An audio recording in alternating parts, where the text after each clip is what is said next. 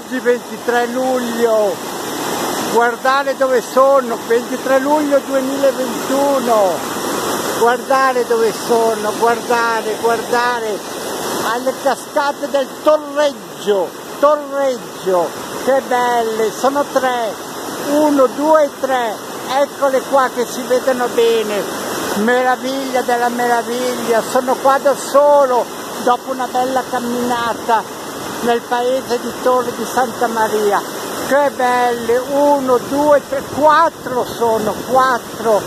E queste cascate le hanno fatto dopo l'alluvione nel 1987, quando in quell'anno successe un'alluvione così forte, mi ricordo in luglio che gran parte della Lombardia venne colpita e qui fu ricostruita con queste stupende cascate di Torreggia, guardare, ma sono cinque, non tre, cinque, vado fino all'ultima cascata in alto, è una cosa eccezionale oggi, mi trovo qua e ricordo amici ascoltatori di YouTube, sono prima del paese di Chiesa San Malenco, guardare che bello il cielo, che belle montagne, favoloso, favoloso oggi vediamo se c'è qualche bacchetta indicativa che può indicarmi altri sentieri.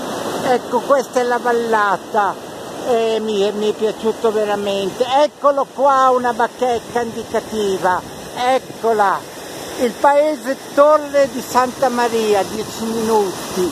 Poi là si va Ciappanico, Piasci e Rifugio Bosio.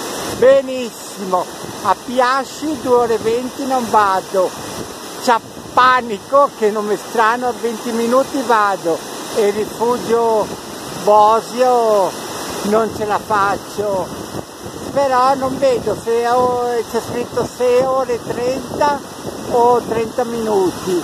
Vado a Ciappanico, il paese sovrastante a Torre di Santa Maria, ma guardare da qua la prospettiva che meraviglia! Non sono quattro, sono uno, due, tre, quattro, cinque, sei, sette, otto, nove, una più bella dell'altra. Mai nessuno ha scoperto queste cose. Vi faccio lo zoom.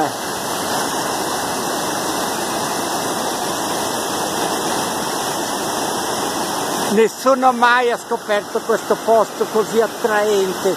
Solo Aldo e c'è modo anche per lavarsi i piedi, per fare la frescura, ma veramente ringrazio quel signore che ho conosciuto ieri, eh, un signore che abita a Monza che mi ha detto di venire qua perché è un posto che nessuno lo sa, ma devo dire che oggi il viandante, il girovago è contentissimo di avere questo ambiente naturalistico. Occhio, occhio che non mi cada il cellulare, Ecco, ecco qui, bello, bello, bello.